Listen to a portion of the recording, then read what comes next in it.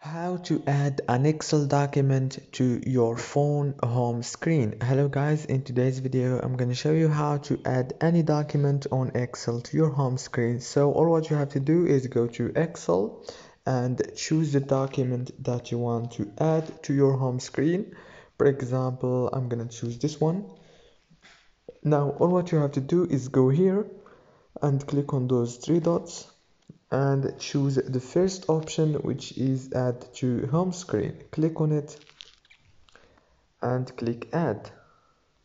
Now as you can see it's added to my home screen easily.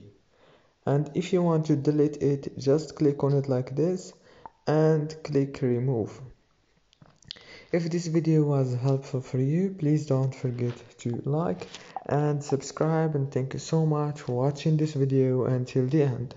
See you later